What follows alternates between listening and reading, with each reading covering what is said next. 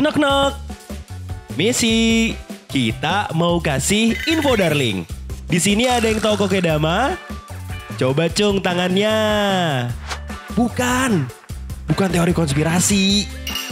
Bukan juga ilmu sihir. Apalagi tebak-tebakan bapak-bapak. Tapi ini kokedama.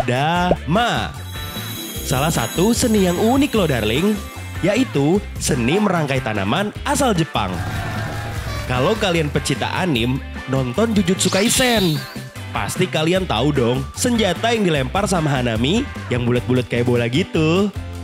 Nah, kokedama ini bentuknya mirip banget seperti itu. Namun, pada bagian atas terdapat tanaman yang masih hidup. Kokedama ini menjadi media yang sekaligus menggantikan peran pot sebagai wadah.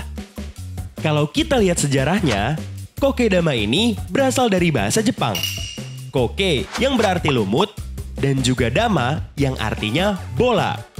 Karena bentuknya yang seperti bola namun berlapiskan lumut.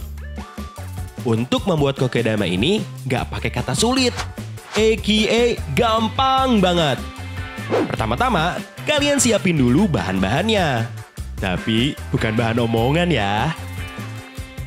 Kalian bisa siapin lumut atau serabut kelapa, tanah, air, tali, dan pastinya tanaman. Nah, untuk tanamannya sendiri, kalian harus pilih-pilih ya. Sama banget, kayak mau pilih jodoh. Harus dipilih yang pas. Tanaman yang bisa digunakan pada kokedama haruslah tanaman yang akarnya kecil. Seperti tanaman janda bolong, sirih gading, pakis, begonia, dan masih banyak lagi. Setelah semua bahan siap, Langkah pertama yang kalian harus lakukan adalah membungkus akar tanaman dengan moss atau lumut yang sudah dibasahi. Bungkus akar tanaman membentuk bola hingga menutupi semua bagian akar. Mirip banget kayak bikin combro. Setelah itu, ikat gulungan bola dengan benang jahit agar gulungan kuat.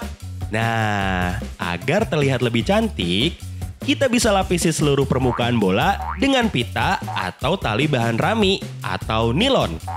Jadi deh, kokedama bisa kalian gantung atau simpan di tempat yang kalian inginkan.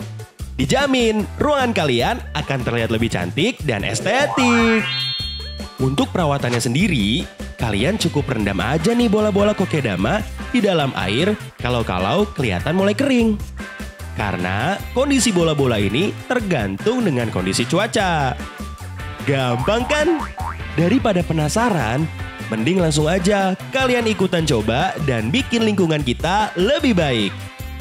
Kalau masih penasaran sama Darling info lainnya, langsung aja cek playlist terbaru kita. Dan tonton video siap Darling lainnya. Selamat mencoba! Karena bikin perubahan itu nggak bisa sendirian.